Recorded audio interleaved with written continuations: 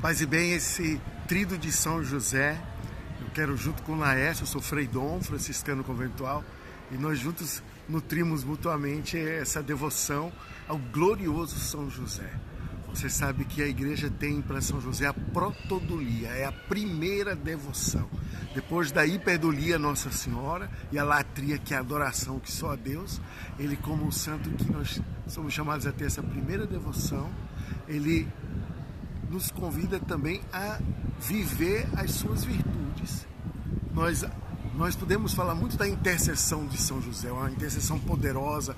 Jesus que viveu com São José tantos anos, foi cuidado, protegido por São José. Ele escuta aquilo que São José pede no céu. Por isso nós temos essa grande confiança.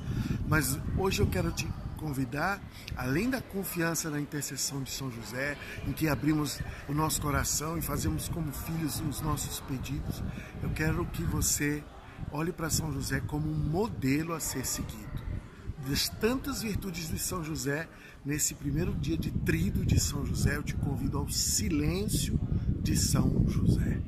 Hoje aprenda com São José, um homem silencioso, que no seu trabalho cotidiano, sem dizer muitas palavras, escutando Nossa Senhora, escutando Jesus, conduzindo a Sagrada Família, mas no silêncio, obedecendo a Deus.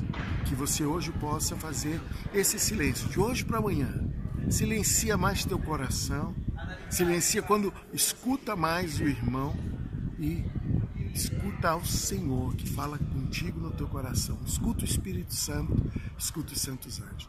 E eu quero deixar para você agora uma bênção sacerdotal franciscana. O Senhor te abençoe e te guarde. Ele te mostre a sua face e se compadeça de ti. Volva para ti o seu olhar e te dê a sua paz pela intercessão do glorioso São José, a bênção de Deus Todo-Poderoso venha sobre você e sua família, em nome do Pai, do Filho e do Espírito Santo. Amém. Valei-nos São José.